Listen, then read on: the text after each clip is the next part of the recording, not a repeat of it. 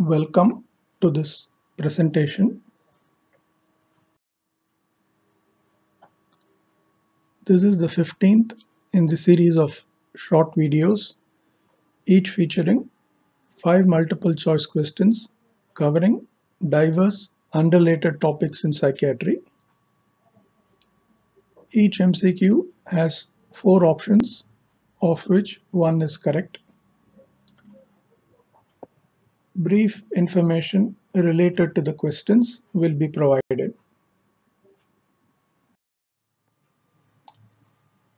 These are the topics for this video.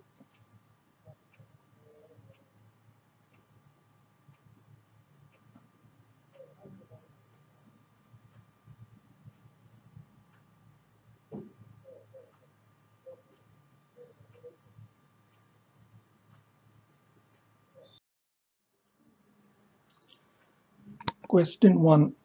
Which of the following is correct regarding gaming disorder? There are four options. Please go through the options and make your selection. If you want, you can pause while you decide your answer.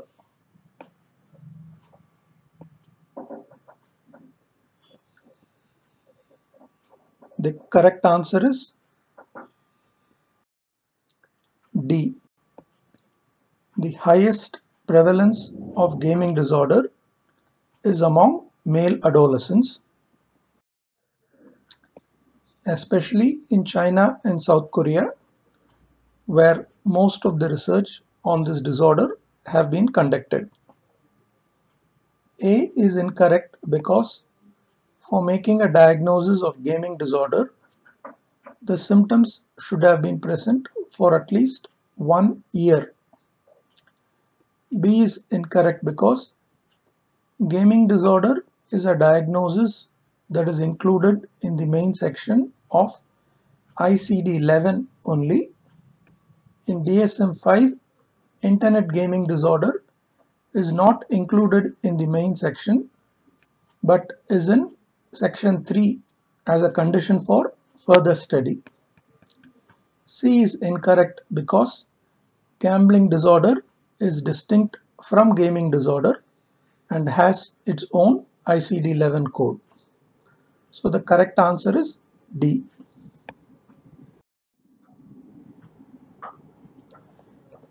Gaming disorder is a diagnosis in ICD-11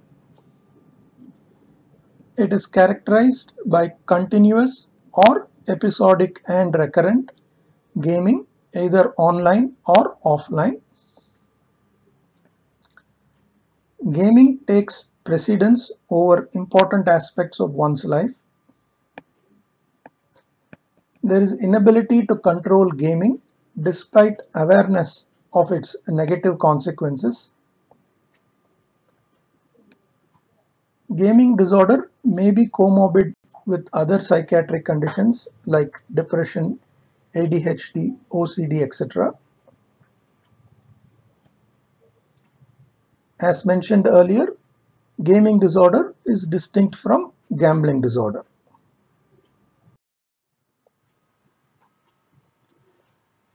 Question 2. The SANS is a rating scale used in the assessment of which of the following?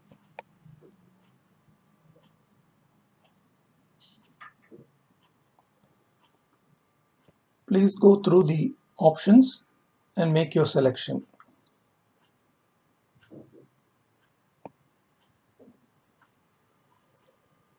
The correct answer is C. Schizophrenia. SANS is a rating scale used in the assessment of negative symptoms of schizophrenia. SANS stands for scale for the assessment of negative symptoms. I have listed rating scales that are used for other options mentioned in the question.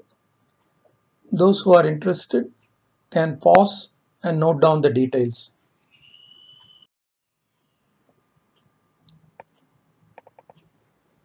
SANS was developed by Nancy Andreasen an American psychiatrist. It has 25 items covering five different domains of negative symptoms. I have listed the domains in this slide.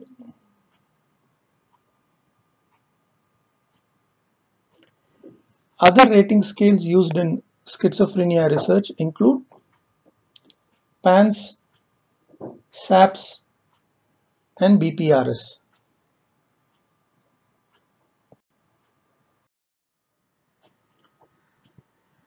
Question 3.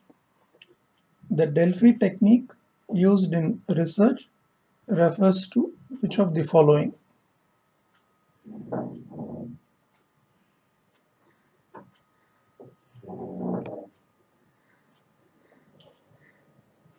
Please go through the options and make your choice.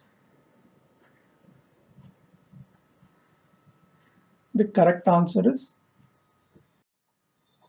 A. Arriving at a consensus by surveying a panel of experts is called the Delphi technique.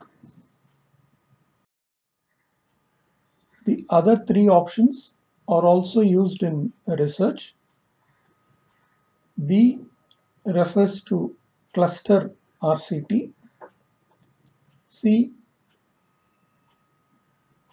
is called a nested case control study. And D is known as a narrative review or literature review. So the correct answer is A. Question 4. Which of the following is the formula for calculating sleep efficiency.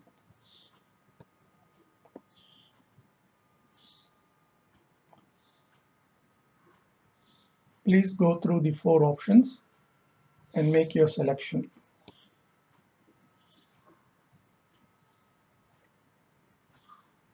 The correct answer is D. The formula for calculating sleep efficiency is total sleep time divided by time in bed.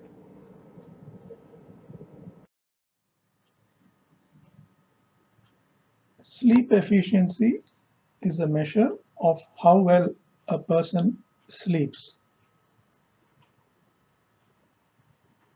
It is derived by dividing the total sleep time by the time in bed and expressed as a percentage normal sleep efficiency is 85% and above. Let us look at an example. A person spends 9 hours in bed but gets only 6 hours and 30 minutes of total sleep. The sleep efficiency for this person can be calculated using the formula mentioned previously and you get a value of 72% indicating a reduced sleep efficiency. One of the main goals of cognitive behavior therapy for insomnia or CBTI is to improve sleep efficiency.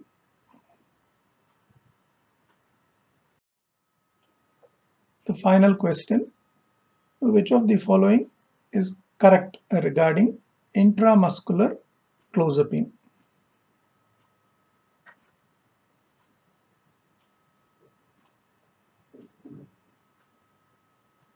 Please go through the options and choose your answer.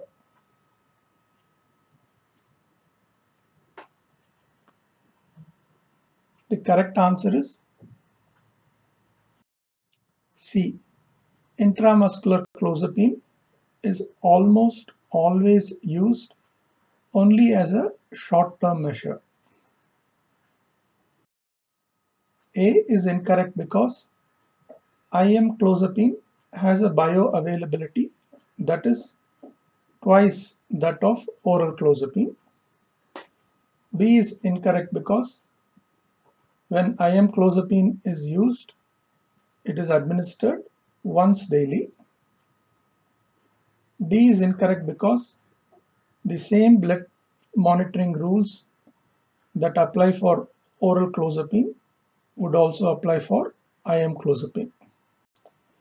So the correct answer is C. IM clozapine is almost always used only as a short-term measure. It should be stopped as soon as the patient agrees to take oral clozapine. IM clozapine is not formally licensed for treatment-resistant schizophrenia, but there are studies from Holland, UK, Israel, etc.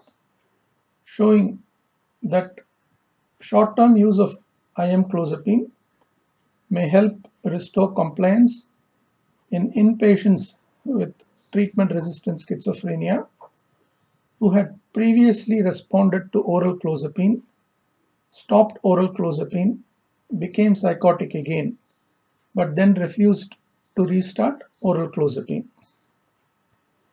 There are also studies on the use of nasogastric clozapine.